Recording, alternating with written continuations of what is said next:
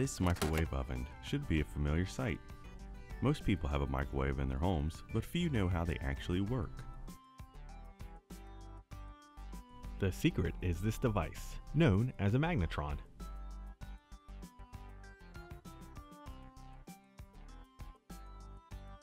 The magnetron consists of two permanent magnets flanking a copper ring. The ring has a copper rod in the middle, a filament made of tungsten and thorium coils around the rod.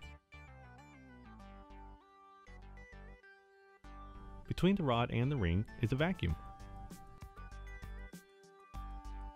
The copper rod is a cathode, or negatively charged electrode.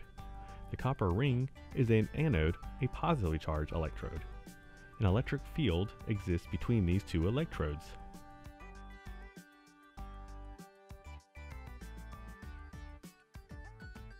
When you turn the microwave on, a current runs through the filament. Negatively charged electrons travel through it, generating a lot of heat. Eventually, the filament gets so hot that electrons boil off the surface, so to speak.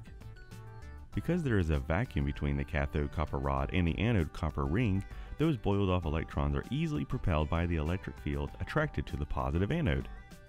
This is where the magnets come in. The north end of one of the magnets faces the south end of the second.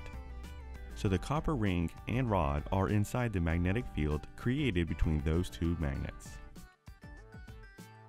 This magnetic field bends the path of the electrons moving from the filament to the copper ring. Called the Lorentz force, this force causes those electrons to spiral as they leave the filament, forming a sort of pinwheel in the vacuum. The tips of this pinwheel and the negative charge concentrated there pass over grooves cut into the inner surface of the copper ring at regular intervals. As the negative charge comes and goes across the mouth of each groove, it creates an electromagnetic wave inside that groove of a very particular frequency, a microwave. An antenna directs those microwaves into a waveguide which then delivers them to the chamber where the food is. The microwaves bounce back and forth between the chamber's metal walls heating up the food. How exactly do microwaves cook the food?